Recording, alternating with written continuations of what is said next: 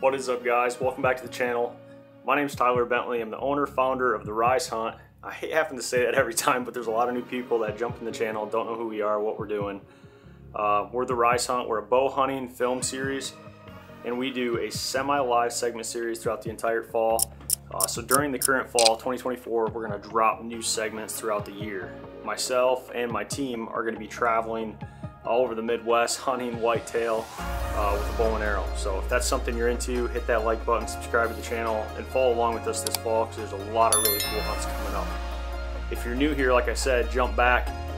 And we have six seasons of this. We've been doing this for a while, and uh, it's pretty cool. This is actually a 10 year anniversary for the Rise Hunt, so it's a big milestone for us this year that we've been doing this this long. Uh, it's pretty cool to think about how far we came and where we started and, and really it wouldn't be without you guys, you know, the viewers and the people that have supported us, uh, our partners. And yeah, we got a long way to go. We're just extremely humbled and grateful. So with that being said, let's let's play a little 10-year montage clip. We'll, we'll edit something up.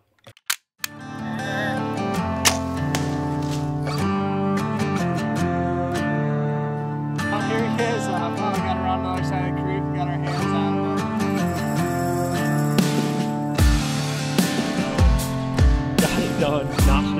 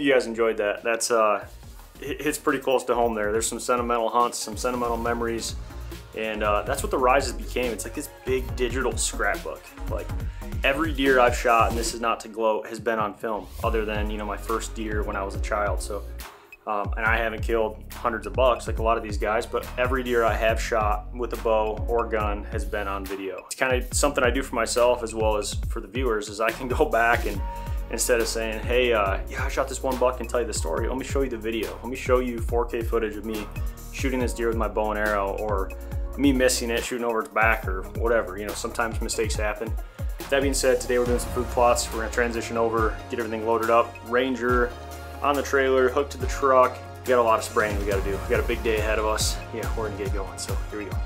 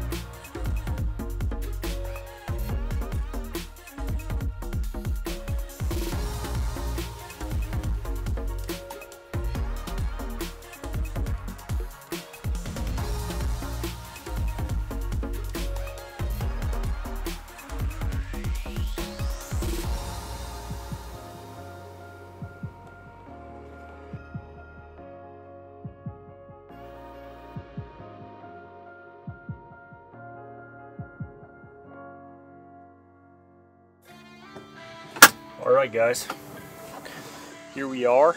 We're out on the Michigan farm today and we're gonna be spraying some soybeans.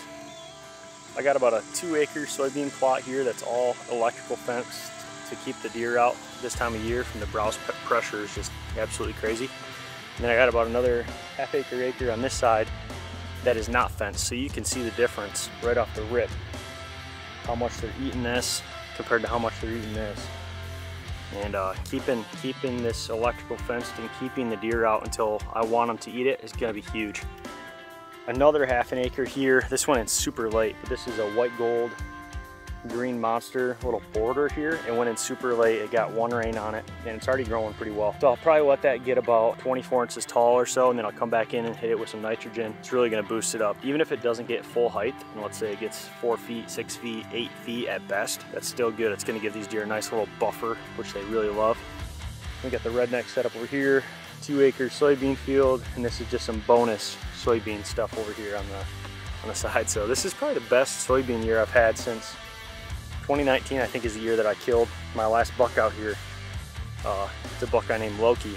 So I'm just putting in the work right now in the summer to do everything that I can to try to better my odds this fall. If there's anything I can do to better my chances, I had the ability. I'm not afraid to work, spend a little bit of time. It's Saturday, it's gonna be 90 degrees today. I could be sitting by the pool, but instead I'm gonna sweat through this t-shirt, put the effort in, and know that when I'm sitting out here this fall, I did everything I can in my ability to uh, get a crack at this buck. That's the plan for today. We are spraying um, some Roundup on all of these to get the weeds out of the soybeans. And then also I got a little bit of fertilizer mixed in too. So it's gonna kill the weeds, it's gonna fertilize the beans. So it's kind of like a little twofer. And then secondly, we're gonna go over to the next plot, but let's knock this one out and then we'll go there.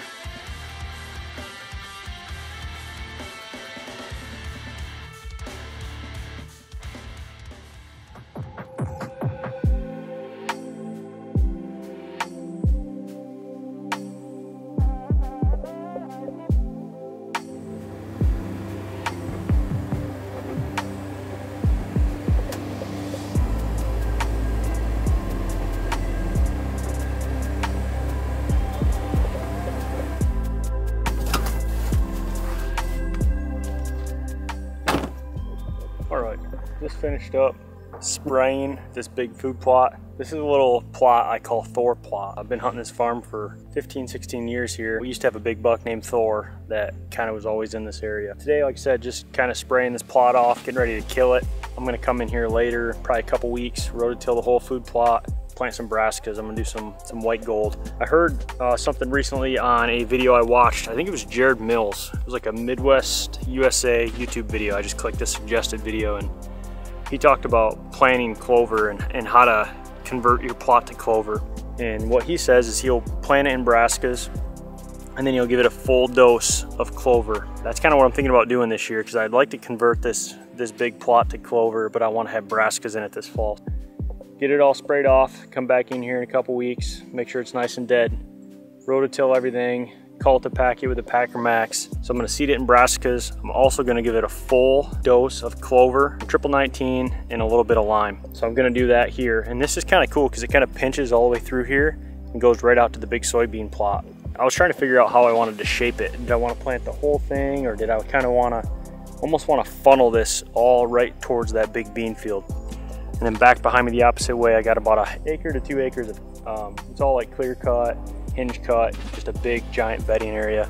That's where I actually almost killed Drax last year. I was sitting in that clear cut and he'd come through.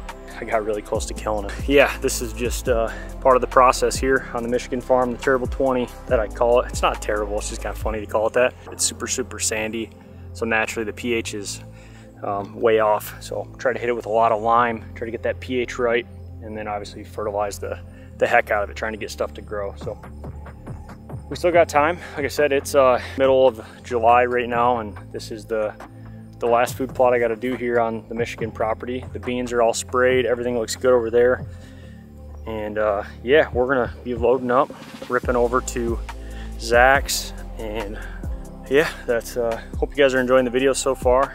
Not nothing too crazy happening, just kind of trying to get some content out to you guys. So if you guys are enjoying this, hit that like button, and uh, we'll get on to the next food plot.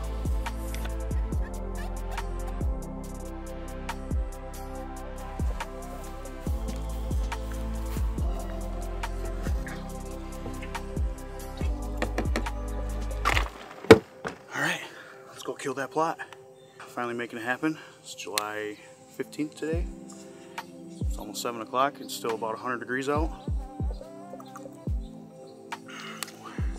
We always say the hunt doesn't start October 1st. Obviously, we, we can't preach it enough. Uh, the hard hours start in July. All the work is should be done well before season. So that's what we're out here doing today. We worked all day. Now we're out here. Tyler just met me. He just got out of work.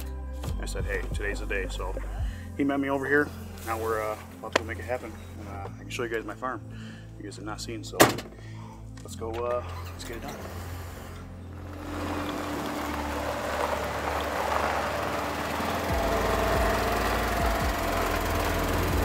Move the food plot to this side a little bit more. I'd like to I'd like to hug this corn right here.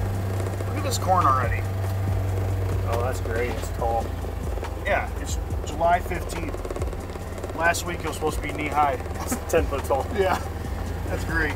What I got here, I got about, it's a 20 acre permission piece. A lot of our spots are small parcels here in Michigan. Everyone besides Nick, I think Nick, Nick's sitting on the ranch, you know.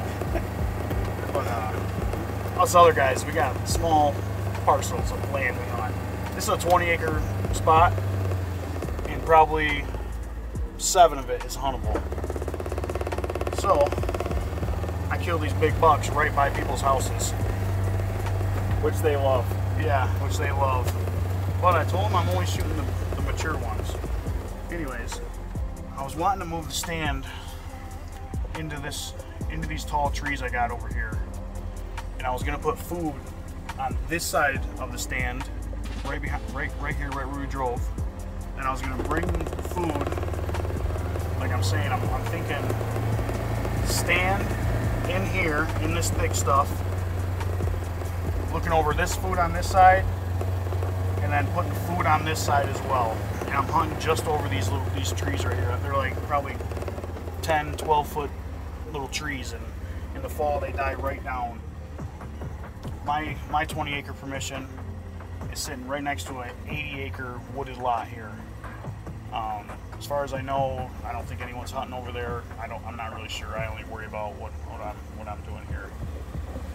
And uh, yeah, so today we're just gonna kill two nice big squares, about a quarter acre over here, quarter acre over here, and uh, come back in two weeks and probably turn the dirt over and put some uh, seed down.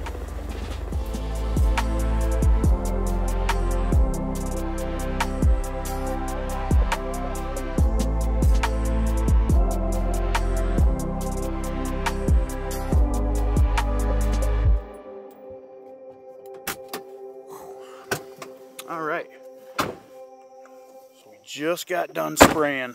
It's about eight o'clock. Took us about hour and a half, so not too bad. So we end up scratching that whole first plan of putting the the blind in this group of trees. We been we ended up putting the food plot on the east side. So last year I planted I planted all all all of this. It's it's it's probably about three acres of food. This year I'm not doing it so much.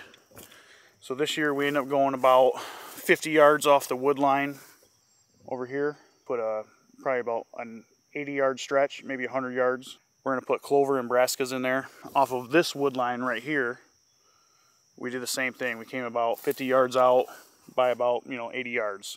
So we basically, what we did is we made like an L.